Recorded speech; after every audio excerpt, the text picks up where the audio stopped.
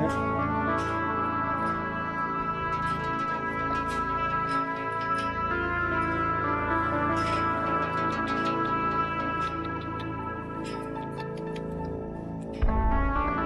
Just uh, wait till she's coming. Get out the way.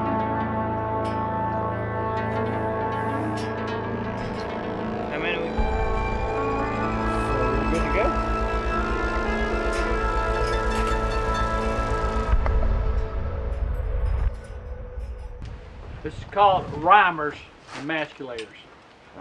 This is the tool that you use. It cuts and it crimps. So you want to make sure you cut it and crimp it when you when you're cutting them with a knife. That way you'll be uh, safeguarded from bleeding. Right, so what we're going to do is we're going to uh, pull the scrotum down. We're going to cut the bottom part of the scrotum off. We're going to pull them, fill them, stretch them, and break. Then we'll put this on, and then we're going to spray them. Okay. All right. Don't want no shins kicked. I don't want no shins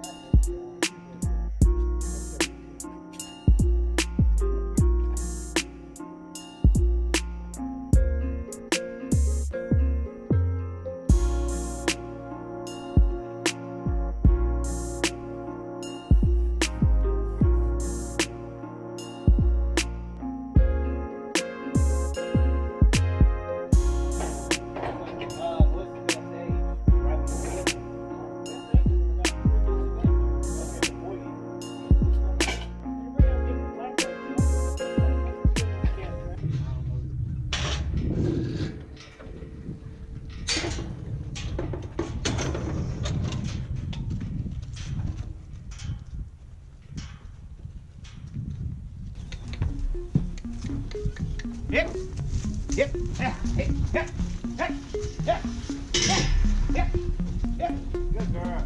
Boy, whatever you are. Hip, hip, hip, hip, hip, hip, hip. Seventy.